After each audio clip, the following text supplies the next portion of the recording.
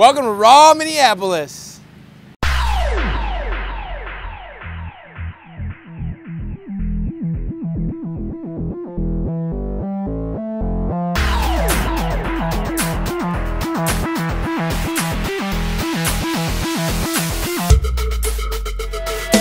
Hi, my name is Lillian and I'm an artist. I've been passionate about art since I was a little girl, always creating, always drawing, always painting, and I've just transferred that into my everyday life. I try to incorporate humans and nature in all of my work.